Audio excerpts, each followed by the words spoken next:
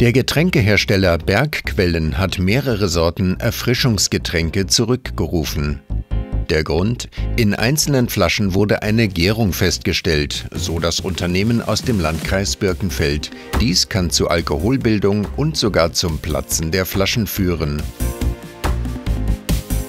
Die Erfrischungsgetränke sind in viele Supermarktketten und Getränkemärkte ausgeliefert worden.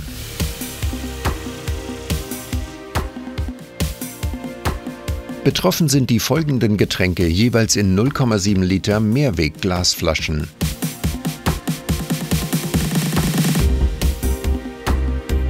Kunden sollten die Getränke vorsichtig weggießen und können die leeren Flaschen auch ohne Kassenbon zurückgeben. Weitere Informationen unter merkur.de